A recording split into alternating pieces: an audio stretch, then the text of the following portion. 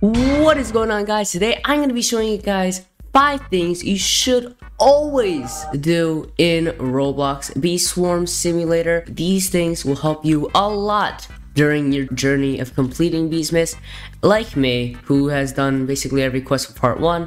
And yeah. Okay, so to begin with, the first thing you should always and always do is defeat your bosses every time since defeating bosses will give you gingerbread bears and they will also give you some pretty good items as well. And they will also help out with quests and yeah. So coconut crab here gives around five to six gingerbread bears every time you defeat them it really depends on your luck. It could be four sometimes but most of the time for me it's three or six Alright, so Coconut Crab is basically dead. Uh, let me just use my leftover stinger and just defeat him really, really quickly. Uh, come on, baby love, don't fail me now. Let's go. Alright, and when you're doing this, of course, be sure to get your token links, as I don't know if these things despawn, but it's just best to get them as fast as possible. Yep, like that. That's amazing. Eh, glitter. Alright. Alright, so just from that, I did get four, no, five gingerbread bears. I think five. Yeah, five or four gingerbread bears just from that one kill. And you should always do these boss fights because gingerbread bears are just, they're the best. And you can also gift a lot of bees just by, you know, getting gingerbread bears just like this.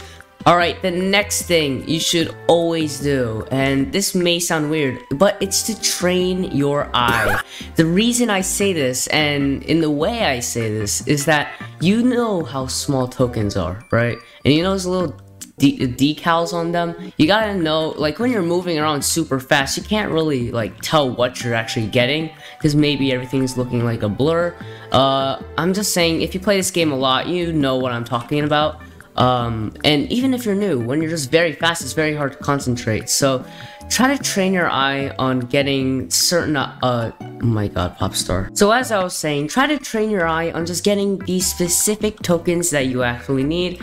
And trust me, it will help out a lot. Now, another thing you should always try to do during Beesmas is get your wealth clock and get your snow bear. Now the reason why you want to get your snow bear is to prepare for upcoming quests. Now I do not know how in the world people over here got such high snow bears while mine is just level 11 but you want to get them as high as you can for the bee bear quests and another thing is your wealth clock since if you do forget about your wealth clock you may have quests running in the background that do require you to have a wealth clock like collected from. So it's best to get that done and out of the way every time you have the opportunity to, so you don't have to worry about it later. Yet another thing you should always do is to, well, this is kind of uh, something you shouldn't do, is just to use super smoothies in general. You shouldn't really use your super smoothies, because you can use them for crafting. And you know, crafting these big game, end game items like this thing over here. But like, it's better just to use a purple potion. It's like cheaper.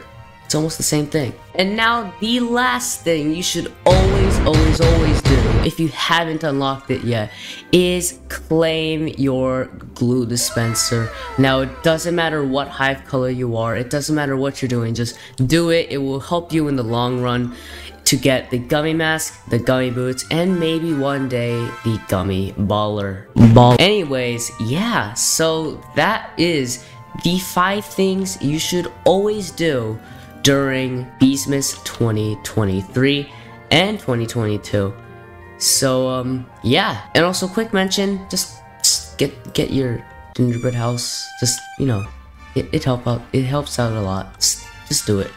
Anyhow, if you did enjoy this video, please be sure to subscribe, like, and of course comment down below on what you want to see next. And without further ado, I will see you guys very, very soon. Look at that baby.